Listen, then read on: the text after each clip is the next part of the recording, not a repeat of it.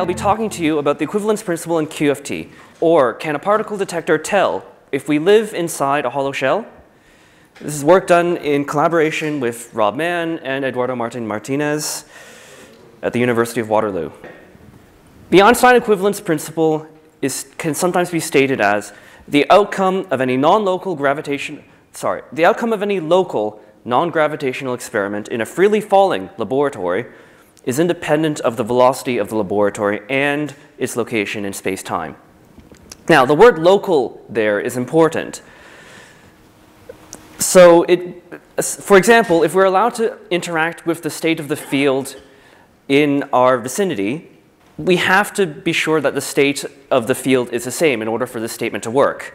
But we know that the quantum vacuum state, okay, the vacuum state in classical physics is pretty boring and can't carry this sort of information. But in quantum physics, the quantum vacuum state can differ from area to area. It can carry information about the neighborhood, for example, Casimir effect.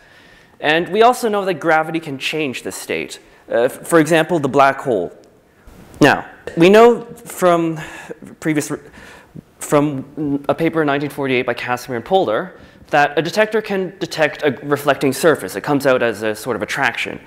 A detector can also detect a local gravitational field, for example, for one of many examples, the, the work done by Hodgkinson, Louko, and, and, myself on black holes in flattened ADS space. Einstein equivalence principle, to repeat, suggests that if all fields are in identical states, the two spacetimes should be locally indistinguishable. But this state does depend on global structure. So, can a detector distinguish a transparent, that is, it does not directly interact with the field, massive, so that it does interact with gravity, shell, that is, it's flat inside, a transparent, massive shell from flat, empty space. Now, I've, said the, the, word detector a few times in this last slide, and you, you might be wondering why or well, some of you might be wondering why. I'm sure this is going to become a tradition pretty soon. so why do we use a detector? It's a simple model for photon interaction in experiments, and it helps operate, operationalize the concept of a particle. So in contrast to things like the Bogoliubov transformation, this idea of a detector works even when the idea of a particle isn't quite well defined. For example, in an expanding space-time or an arbitrary trajectory. The detector model I'll be using today is called the Unruh DeWitt detector model, a two-level point-like system with gap omega initialized at some ground state zero. The other state we just call omega when we're writing stuff out. And uh, we can we allow this gap omega to take a negative value to indicate that the detector starts excited and goes to the ground state. Coupled to a scalar field through the interaction Hamiltonian there, where we have the coupling constant lambda, a switching function chi, this actually is, will become important later, and the monopole operator and the field operator. We've seen a lot of this before. The response function is a simple expression for the transition probability at leading order.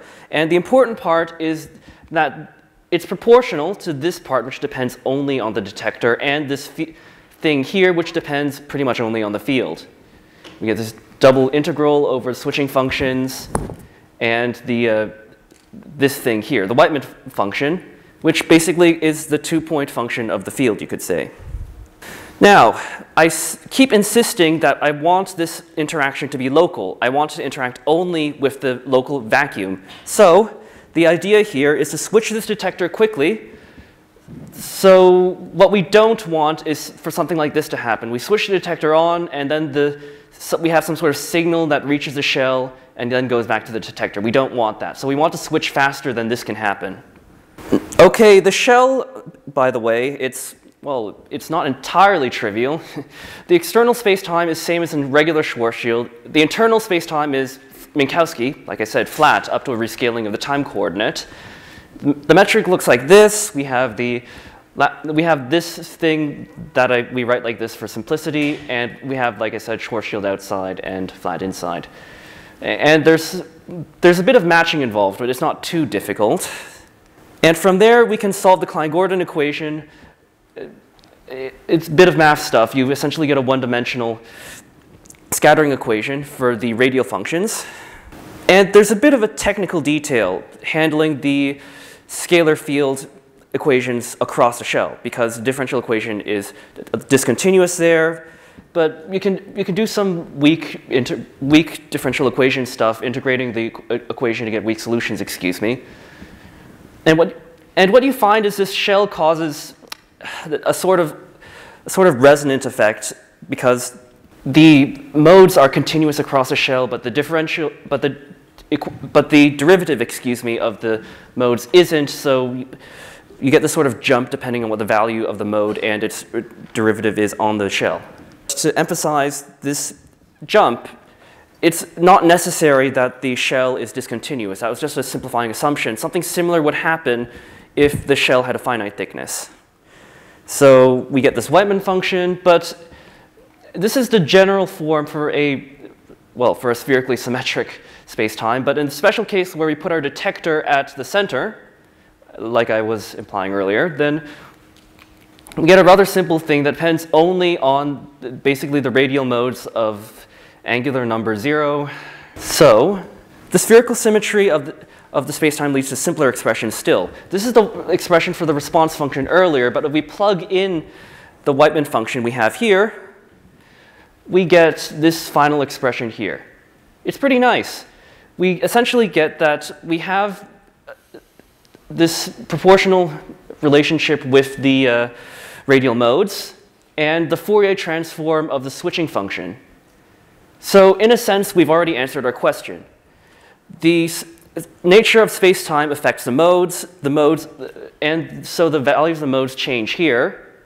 And then the switching function, we can pick different switching functions and or different gaps to basically select for a certain energy. So if the mode differs at any particular energy, we can tune the switching function to detect that difference, and we're basically done, uh, in principle anyway.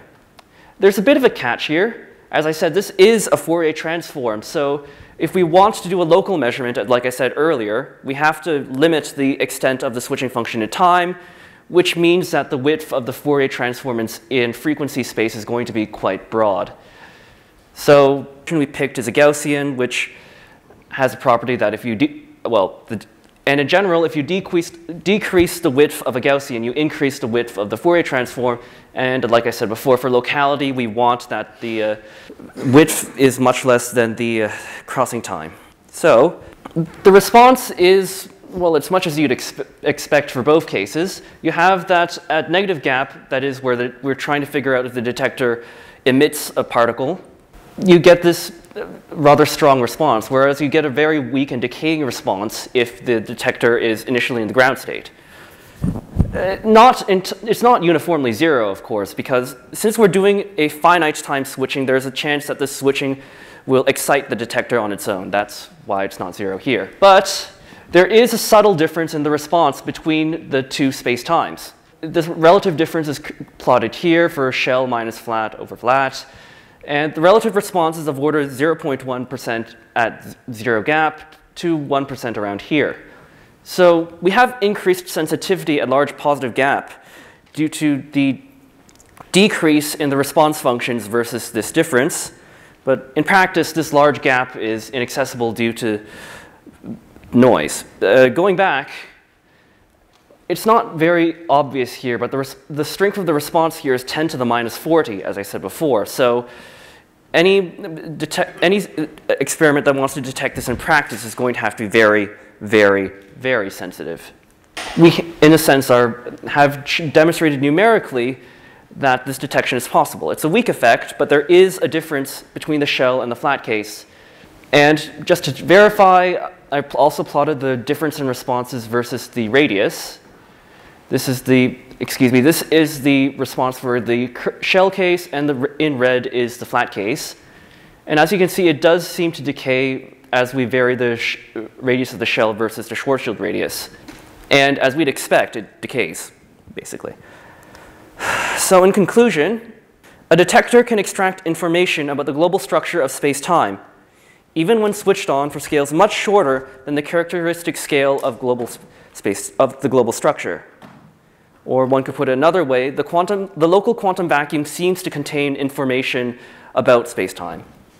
So there are a couple steps we could take in the future. For example, we could try to optimize things and ask how quickly can a detector measure this shell? We can ask how an array of detectors can detect higher multipole features. Finally, we can ask if an array of detectors can probe a changing space-time. Okay, so at, at, the end, I'd like to acknowledge, I'd like to thank Shih-Yuin Lin for his, for his insights and discussions during the development of the paper, and this was, research was funded in part by NSERC. Any questions?